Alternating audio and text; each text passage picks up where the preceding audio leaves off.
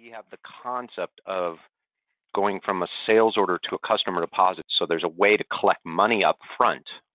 What happens is now there's a link um, on the sales order record in NetSuite. An email would be sent out to the customer and they go ahead and click on the link and it takes them to this form. So they see the sales order and they have the credit card management feature right right on the sales order form. Um, so we'll go ahead and select a card that's on the account.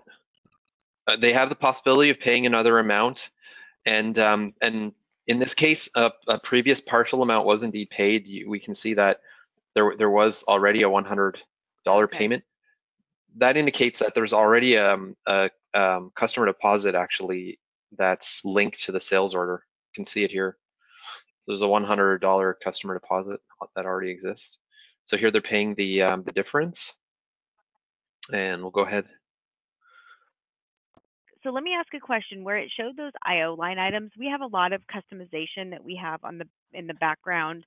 Mhm. Where if you look at Mhm. an IO the way it is in NetSuite, it's got negatives and positives where it's moving things. What Right. would it look like on that screen? We, we Where the look more like beauty the is invoice? the- yeah, the beauty is the technology we were using to draw it, we got complete control over that, right?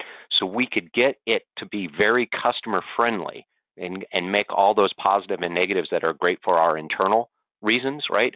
We could get that to line up right. We can reuse a lot of that uh, code that was uh, developed for the presentation.